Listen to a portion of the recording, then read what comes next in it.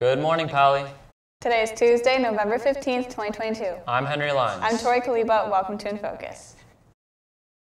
This week is Thankfulness Week. Today, join Wellness in creating friendship bracelets and writing cards. Also, the Flower Club is distributing flowers. If you get one, pass it on to spread gratitude and kindness. Stay tuned for new thankfulness activities every day for the rest of this week.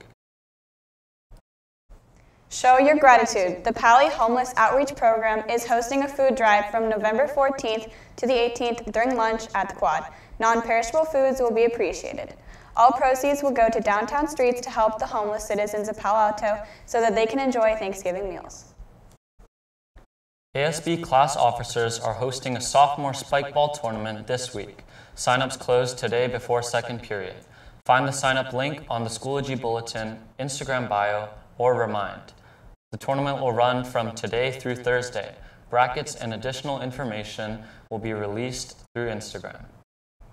Paly's 18th annual turkey feast will be held this Friday, November 18th during the extended lunch.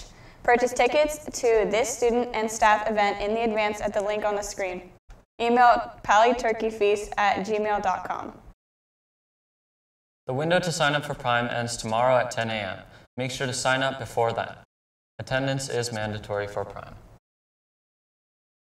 At the lunch bell, Paly students spill out of classrooms to their desired lunch spots. Some go towards the student center to receive the complimentary district lunch, while others might head, decide to head to Town and Country's multitude of eateries, even with the increased prices in the past year.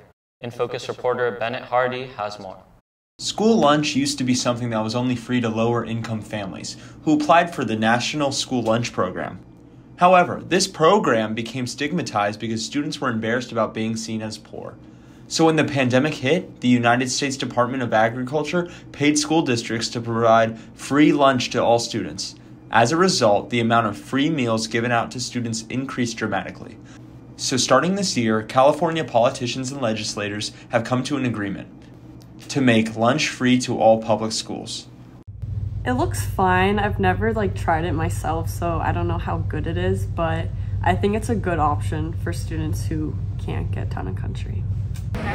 Due to the recent economic trend of inflation, the prices of food at town and country have risen rapidly. Food items that either their portions became smaller for the same price or the price increased for the same portion. So I think there's definitely some signs of inflation. Even the student discounts have become unaffordable to most students. Um, I usually get the school lunch, and sometimes I bring my own food, and sometimes I mooch off of others, and sometimes I just find food. While some students work for their lunch money, it is common for some students to swipe their parents' credit card without a glance at the price tag. You know, sometimes I like to treat myself. I got money, I got a job, I'm not broke. So I'll go, I'll go into town and country. Maybe I'll get a little wrap from Trader Joe's. While economic disparities at Paly are not as apparent in the classroom, they can be seen in what students eat for lunch. But whatever is the best option for you, make sure to stay nutritious, Paly. For In Focus, I'm Bennett Hardy. That does it for today's show. Follow us on social media at InFocus News to engage with our content and visit our website to view today's campus bulletin. Until next time, I'm Henry Leins. I'm Torii Kaleba, and this has been In Focus News. Have a great day, Paly.